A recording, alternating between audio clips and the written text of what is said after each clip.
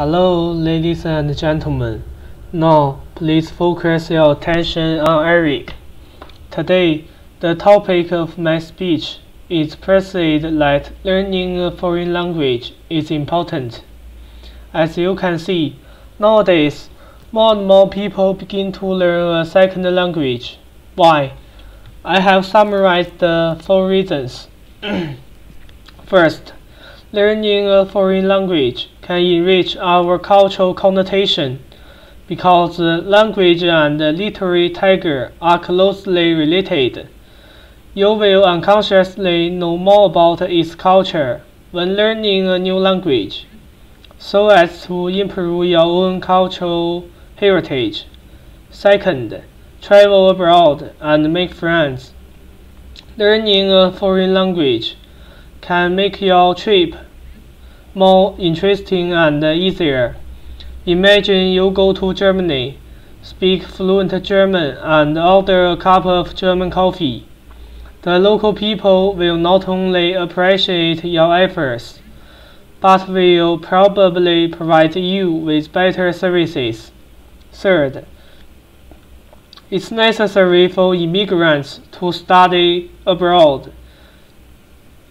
Learning a new language can provide more choices for your education and future career. For example, if you want to study abroad or immigrate, speaking fluent English or Spanish becomes a necessary skill. Fourth, better brain development. Science has proved that learning a new language can can improve self-control, concentration, and memory, and other cognitive abilities. With the knowledge of the new language, you can freely switch between two different languages. In the next section, I would like to introduce some of my own real ideas to you. My major in university is English. Why do I choose English? I think there are more people learning English.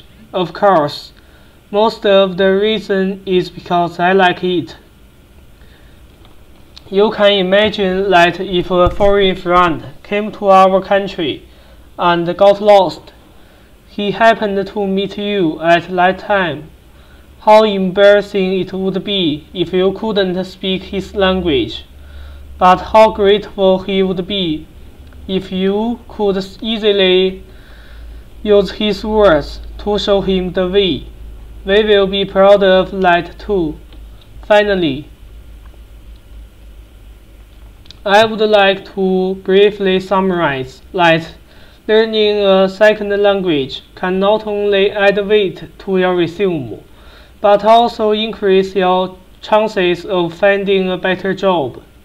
It's also a good way to challenge the limits of the brain and promote brain development.